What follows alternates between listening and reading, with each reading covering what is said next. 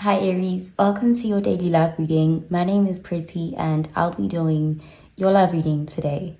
So before we begin with your love reading, Aries, please do remember to take what resonates and to leave behind whatever does not. Okay, so let's begin with your love reading, Aries.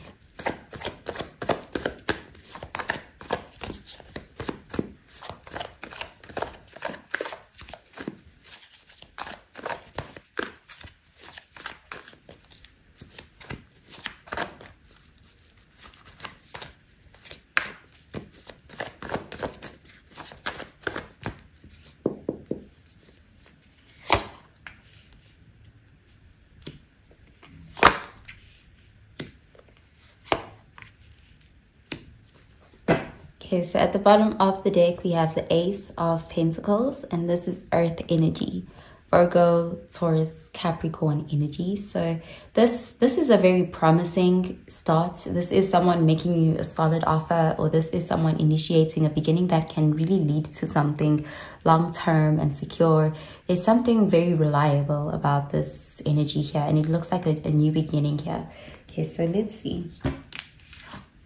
Okay, we have the Four of Cups, water energy, the Seven of Swords, air energy, and we have the Four of Pentacles, earth energy.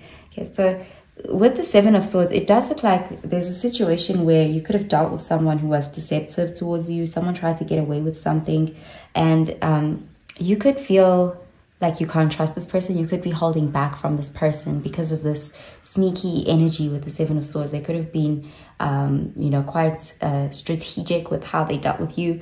Um, but with this Four of Pentacles, it's like you're closing yourself off to this person. There's this feeling of holding on to what's yours, holding on to things that you find valuable, like your resources, even your heart um, there's this feeling of not being available to someone.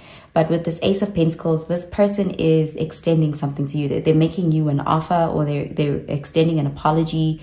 Um, it does look very reliable. Like there's something here that's truthful about what they're offering you. But with the Seven of Swords still showing up here, it looks like you are hesitant. There's something about this person. They could have disappointed you one time too many. And it does look like you've grown a bit weary of them with the Four of Cups here. So let's clarify these cards.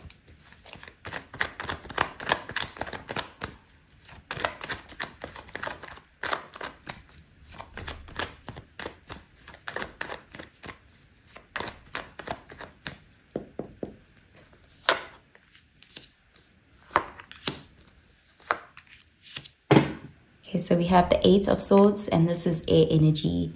Gemini, Libra, Aquarius energy. So you could actually be feeling quite um, anxious over the situation. There's some sort of mental anguish happening here with this Eight of Swords. You feel victimized by this person. It does look like you dealt with someone who could have, you know, a lot of mind games, manipulation could have occurred here. And now they're coming back around here with this offer, and you, it may actually take you off guard. You may start to overthink the situation, um, but it does look like there's this feeling of leaning towards wanting to reject the offer, but then still at the same time overthinking the situation. Let's see.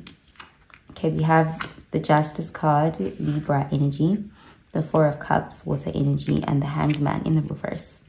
Pisces energy. So there's this Justice card, Ace of Pentacles. It looks like the, what they're offering you is like an apology or an offer of restitution, wanting to start something again and promising that this time they have good intentions. Is this feeling of really wanting you to believe um, that they are coming towards you with sincerity. It does look like with it being an ace of pentacles, their apology is sincere, but it's almost like it may be too late. Um, there's something here about with the hanged man, you could have been waiting for them to do this for a long time and you've already kind of given up on that. You know, with the hanged man in the reverse, it's like you're not hanging in there anymore. You're not waiting. You're not being kept on the hook anymore. You're, you, you've lost interest almost here. And we have the four of cups strung up here twice. So this person could actually try multiple offers here. Um, like it's, you reject the first one, they'll try again. But there's still this feeling of something being too late. You know, it's up to you how you want to respond here. But there's this, it looks like someone who is, you know, someone, you, it's almost like you've lost trust in this person. Okay, so I'm gonna pull out an oracle card for you, Aries.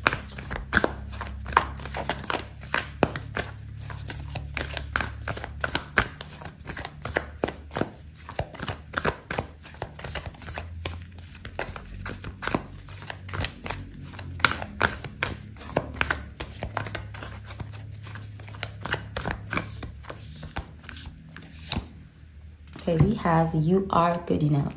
Full moon in Virgo. Okay, so this person could have really um, affected how you view yourself. You could really feel like they try to play on your insecurities. There's this feeling of being stuck in your head when dealing with this person. This is someone who triggers feelings of inadequacy, insecurity, and anxiety within you. Okay, so I'm going to put another card for you.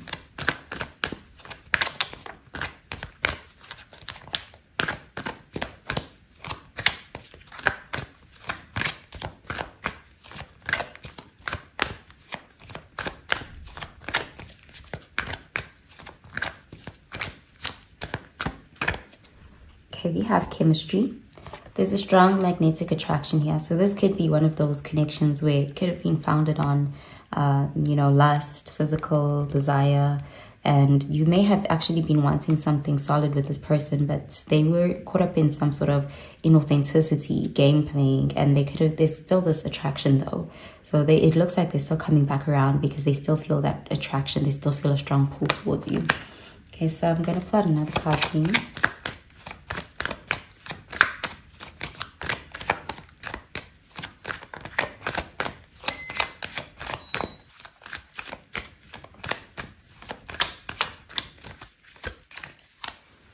We have destiny. It is not in the stars to hold our destiny, but in ourselves.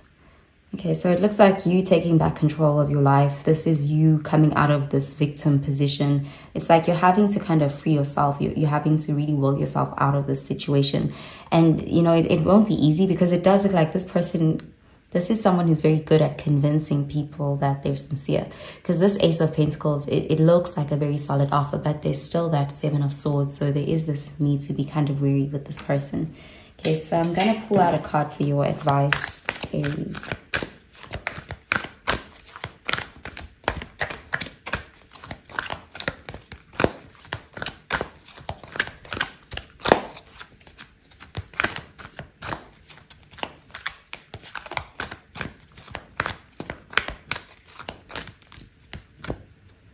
Okay, we have surrender your addictions. Whether you're addicted to substances, food, people, sex, or, or overworking, take action to begin to heal the addiction and replace it with healthier alternatives. Okay, so that's what I'm seeing for you, Aries. I hope you have a really, really good day, Aries. Bye, Aries.